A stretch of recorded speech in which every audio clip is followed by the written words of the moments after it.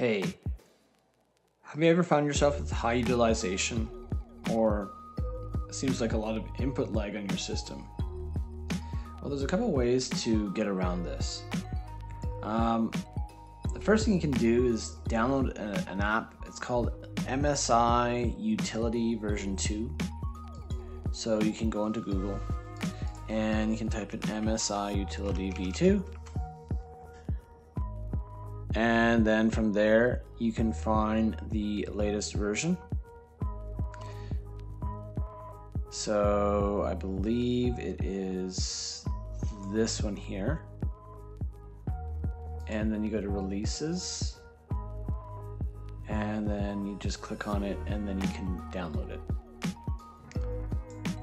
And once you've got it you extract it and then you need to run it as administrator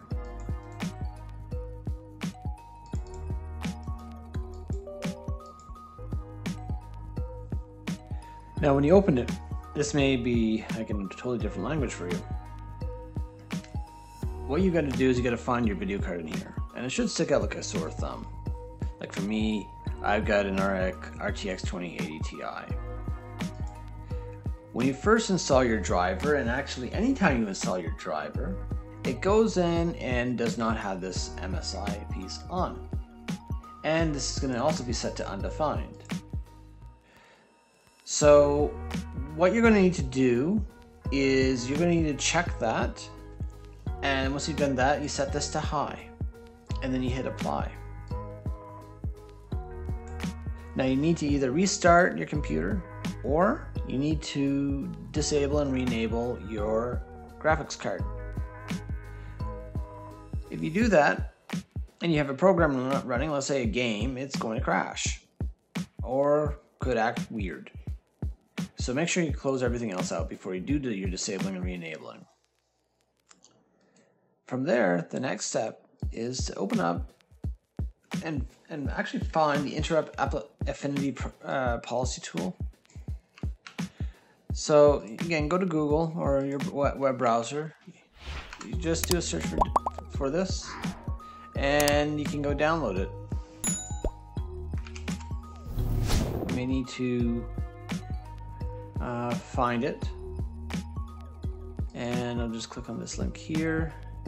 And it talks about where to download it. This is the direct download link.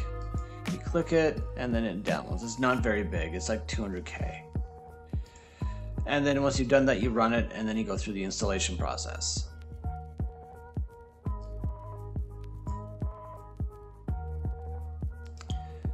So again, this is the 60 for 64-bit x64, x86 is for 32-bit, and IA64, that's for Itanium, which I don't think Intel makes anymore.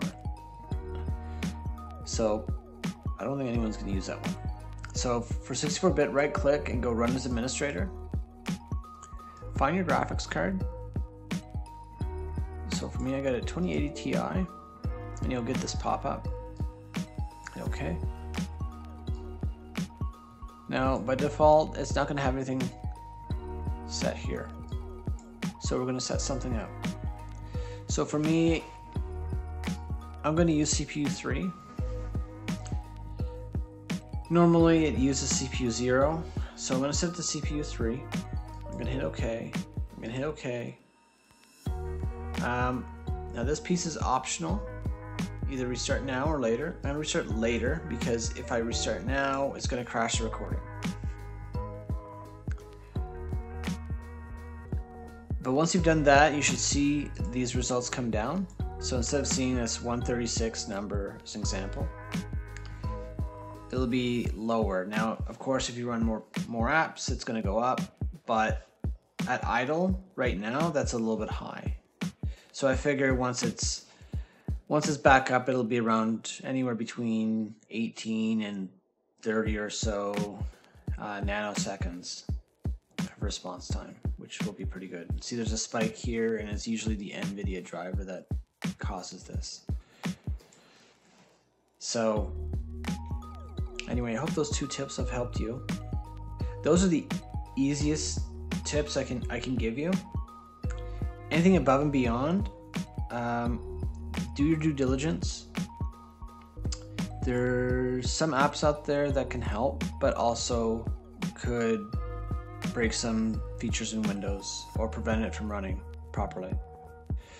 So there's an app that I do use occasionally. It's called Blackbird, but you got to be careful with that app because it not only is it's designed for privacy, but not just that, it also shuts down a whole bunch of things, a whole bunch of services on your computer. And some of those could be seeing your other computers on your network. It could be, um, you know, it can shut down your, your Bluetooth if you've got a Bluetooth headset, which can create a problem. Um, and there's ways around it, but you know, do some reading, do some research before you start going down this path because the last thing you want to do is get frustrated and then just say, heck, I'll just reinstall everything and start over again. So, again, just a little bit of advice. But anyway, I hope this video has helped you. If you like this video, hit the like button. If you want to see more content like this, hit the subscribe button and comment below if you've got any suggestions or tips for future videos.